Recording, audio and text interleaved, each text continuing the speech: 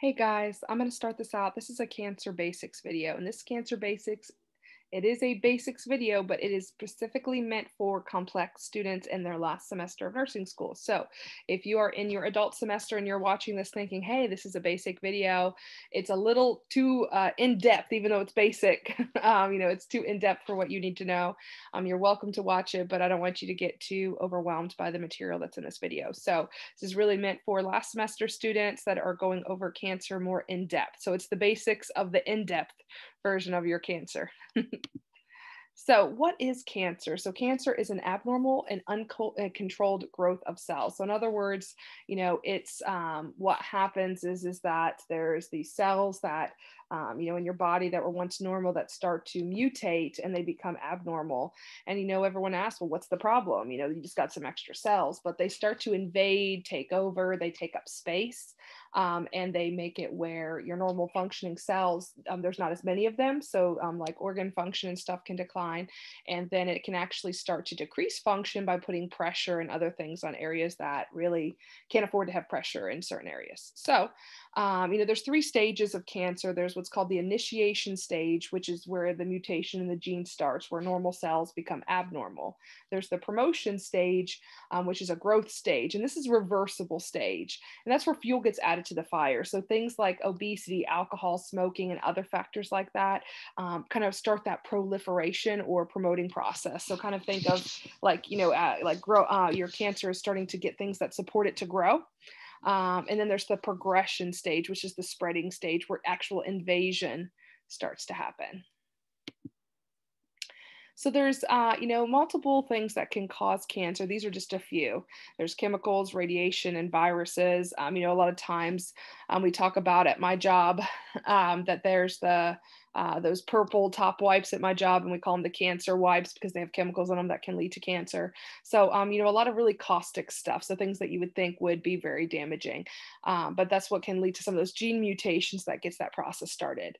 Um, cancer is very tricky. It flies under the radar of your immune system. So even though it's not normal cells, they they appear to be normal because cancer has a lot of ways to um, trick your immune system. So, um, you know, that's why a lot of times, even though this is an abnormal process, your body doesn't know it. Um, and it, like I said here, it's not detected as not yours. It still thinks your body thinks, oh, this is me. Um, you know, this looks enough like me to think that it's still me, even though it is an abnormal cell.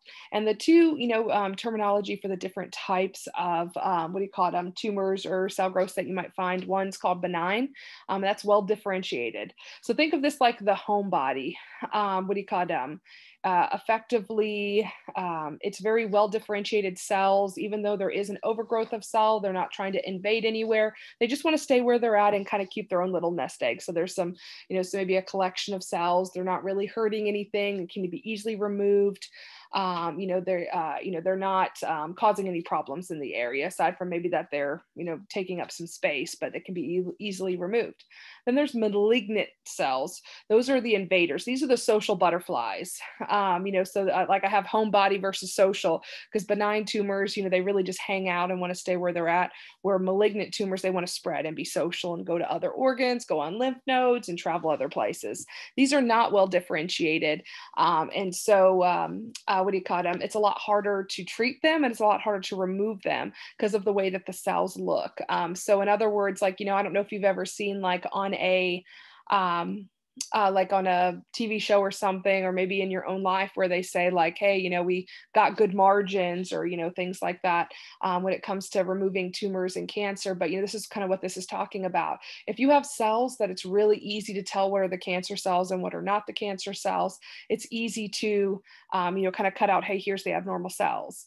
Um, but if there's a lot of, um, they're not well differentiated and they're kind of very scattered or hard to tell um, what's cancer and what's not, you have to be careful and leave leave some of that good tissue and sometimes you can leave some of the cancer there. So that's why benign is a lot easier. And you can also, it, it all has to do with what you can see under the microscope. I probably should have put a picture on here, but I don't want to get y'all nerding out on that stuff because you probably, you're not going to be shown a picture of cells on your test and have to see, is this well differentiated or not? But just realize that benign, it hangs in one place. It's easier to remove. Um, the cells, uh, we call them, they're not harmful or spreading.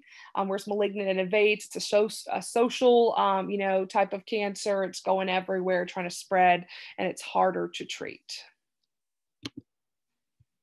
So there's a couple different ways that we can stage cancer. Um, first, we can do what's called clinical staging, and that has four, sta- five stages, excuse me, um, you know, officially, because there's stage zero, um, which is um, what you call um, a non-invasive, kind of like a benign tumor or something like that. You know, cancer in situ is what it's called. Um, and so it's not going to be invading or going anywhere. Um, stage one is like a local cancer but it does have that invasive quality. So it has the potential to spread, but it's still just in one area. Stage two is a limited local spread. So maybe in your breast, it's spread um, just uh, locally, like to like, um, you know, nearby in your breast, still in the same region. Um, and then um, stage three is going to be an extensive local regional spread. So maybe it's starting to spread to some lymph nodes um, or spread to, um, you know, uh, like accumulating more in an area. And stage four is metastasis, which means it's gone to multiple organs. Um, then there's also what's called the TNM, uh, what do you call it, staging system, and that's um, T stands for tumor. So they they have a grading scale where they measure how what's the tumor size and what's the invasiveness of that tumor. Um, the N is for has it spread to the lymph nodes, and the M is for metastasis, has it spread to other areas. So these are two different ways, and it's really just doctor preference. But effectively, it's either looking at you know um, clinical staging, which kind of looks more at where is it, where the TNM is a little bit more detailed and it talks more about the size um, where it's gone and if it's invasive or not. So it kind of combines a few other factors for that. So what are some uh, the most common signs of cancer? And so they use that acronym CAUTION. And so what that stands for is for C, change in bowel or bladder habits, a sore that does not heal, unusual bleeding or discharge, a thickening or lump in the breast or elsewhere, indigestion or difficulty swallowing, an obvious change in a wart or a mole, or a nagging cough or hoarseness. And obviously, these are very um, general symptoms, but they're definitely ones that usually we want to investigate and can suspect that there may be some sort of cancerous process going on. So, especially depending on their history and stuff like that, um, these are the ones that we would want to investigate. So, how do we diagnose cancer? So, we diagnose cancer by looking for abnormal growth um, or cancer cells um, present. So, we usually, um, you know, wherever we're suspecting there might be cancer, whether there is a growth or um, whatever we might find, we're going to do what's called a biopsy. We can do one in the tissue, we can do one in the bone marrow. We can also do what's called cytology, where we're really looking deep in those cells to see what they look like, kind of like we were talking about that differentiation of the cells. Um, we can also look for tumors on a chest x-ray, ultrasound, a CAT scan, um, or a PET scan. Um, and um, uh, we could, uh, that's going to let us to actually visualize, like if we can actually see the physical tumor. Uh, we can also look for abnormal function of the organs. So maybe like, you know, if there is a tumor in one of these places, we would actually see a decrease or change in function of those organs. So liver function or kidney function testing is examples. Um, and then we can also maybe do some labs to look for tumor or genetic markers. So like there's the BRCA gene um, for breast cancer. There's, um, there's a couple for a couple different cancers, which we'll talk about in those individual cancer videos. Um, but um, as a whole, those are some basics that we can look at. So, what are my overall goals for a client with cancer? I'm hoping to, uh, you know, of course, my my biggest goal would be to cure the cancer. Not me as the nurse, but you know, I'd hope that we could maybe um, progress to that, have no more cancer, and be what's called be in uh, what's called remission. It doesn't mean the cancer can't come back, but currently, um, you know, we want to get to the patient to being cancer free if I cannot cure it, then I want to control it. So, in other words, I want there to be no more growth, keep it small, and keep it contained, like not spreading.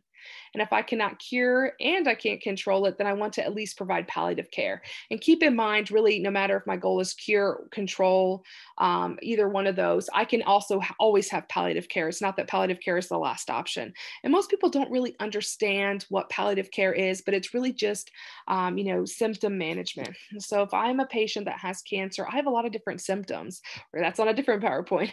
so there's, you know, there's nausea, vomiting, hair loss, emotional psychosocial needs needs, um, nutritional needs, uh, maybe like musculoskeletal fatigue, weakness, like a lot of stuff.